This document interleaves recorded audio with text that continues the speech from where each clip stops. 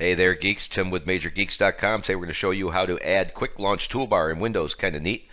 Another way to access your stuff quickly. And it also adds Show Desktop, switch between programs all in one spot. Let's take a look. We're going to start by highlighting this code. And if you don't want to type that code in, you can just go to the video description and it'll take you to this page where you can quickly copy and paste. Let's right click somewhere in the blank area of your taskbar. Do toolbars, new toolbar.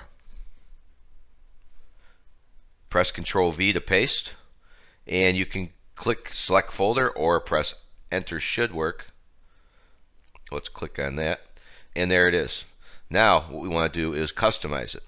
Before we do that, let's right click on your taskbar again and verify that there's no check mark. See that? No check mark next to lock the taskbar. Why? Because if we want to move this, let's say to the far left, grab these two lines right here and drag it as far as you can, and now you can see it's to the left. If you've locked your taskbar, you're not going to be able to do that. Let's see if we can get it back here. There we go. You can also see, see what I'm doing here with moving it? You can almost stop it anywhere you want. But let's take a look at how we can change that as well. Right click on the word quick launch. If you take the word show text out, now you can squeeze all sorts of stuff in here. Another neat thing you can do now is drag and drop stuff. So let's say, I don't know, I want to put my downloads folder in there. There you go. Uh, I've got a picture, a file, a folder.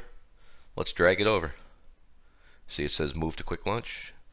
So I can pop that open anytime now. Pretty neat. Let's look at some other stuff. Again, right click on quick launch. We could take the word quick launch out. Pretty cool, right? Large icons. That's kind of neat. I've always had trouble getting that back when I do that. Let's see if I can get it for you. Um, the task view button. Let's see here. Large icons, small icons.